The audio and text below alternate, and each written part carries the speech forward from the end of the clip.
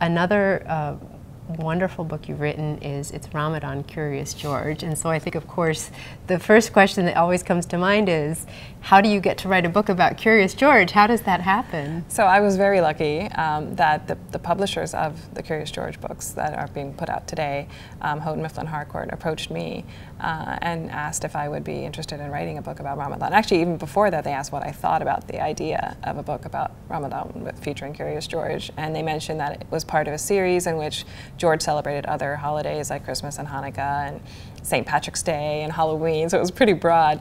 And they said, we think it's high time that he celebrate Ramadan, and what do you think about that, and, and how do you think people would react? And, and I was so excited about the possibility, and that little kid in me, you know, was, who grew up reading Curious George and read Curious George to my kids, I was thrilled. Uh, and I couldn't imagine that anybody else wouldn't be. You know, everyone else would be thrilled, um, anything but thrilled. And and so that's that's how it came about. Um, and we talked a little bit about you know, how to approach it, and you know, my, one of my questions is, is George, is he a Muslim? like, how does this work? And and they said, how about he has friends who are who are Muslim, and he observes the traditions with them, and, and that's the way I wrote it. So um, it was a fantastic experience, and really so meaningful to have a character like him be inclusive in that way. Um, and I just saw the outpouring of, of love for the book and, and the reaction to it was so overwhelming because people felt so moved that, that this book existed.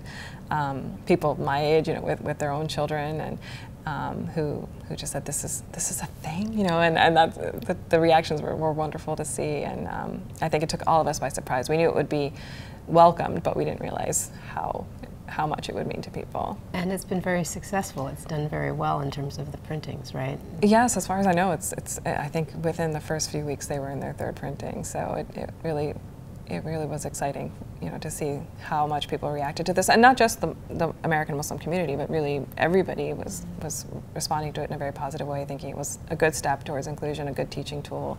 Um, and for me, it was just exciting, that, you know, to think, okay, well, if if Curious George, a character who everyone knows and loves, is, you know, being respectful towards Muslim traditions and has Muslim friends, then maybe it'll, you know, make, make a little bit of a difference and encourage other people to do the same. And it's a beautiful um, board book format um, so that you sort of have these different um, tabs that are open. So it's very accessible for kids, and, and, and we'll read a little bit from this a little bit later, but um, I think it, it, it, also speaks to the um, the success, it's another success stories for publishers themselves to look at and say, look at the demand, the hunger there is for this.